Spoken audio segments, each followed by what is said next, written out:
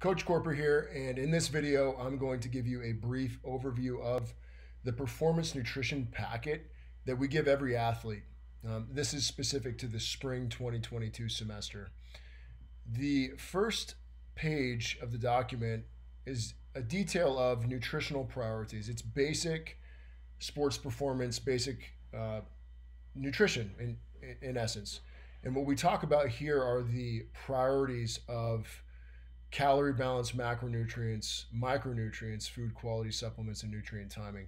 We talk a little bit about what it means to be in a balanced state of calories or in a deficit or a surplus, and the what what macronutrients are, what micronutrients are, and how we should prioritize prioritize these things when it comes to getting results, um, especially when it comes to a sports performance standpoint.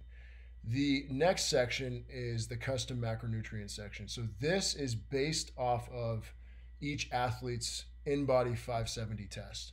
And what you find in this section are custom macros or custom protein, carbohydrate, and fat recommendations per this athlete. We also give an overall calorie intake. And in addition to that, there's this full section here on how to track macronutrients um, and specific to an app called My Macros Plus, which is an amazing macro tracking app, very user friendly. And so there's really no uh, stone unturned when it comes to the macronutrient portion.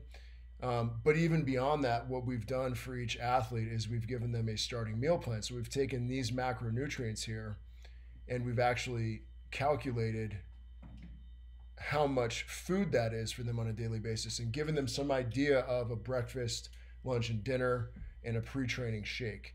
And so this athlete now knows okay, for breakfast, I need six eggs, two, four slices of toast, three tablespoons of olive, coconut, or avocado oil, two bananas, or three to four cups of berries or similar fruit, veggies as desired. So, what's powerful about this is it's very easy to use, right? So, you could, if you wanted to, just go straight into tracking macronutrients and input the foods that you eat into this app and make sure that you hit those totals.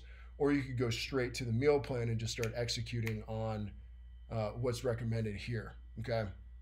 And keep in mind that these recommendations are based off of their body composition and their unique goals.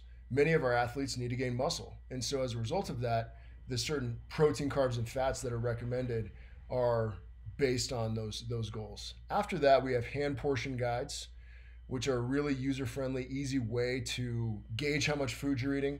And you can actually utilize these when you're out and about, or if you're not able to weigh and measure your food. We also have a tracker that an athlete can use.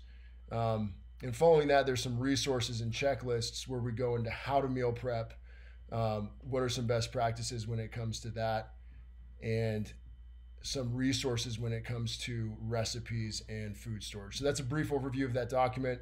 Uh, we're really excited because we know that it's a great resource for every single athlete and they can go execute exactly on what they need to when it comes to their performance nutrition.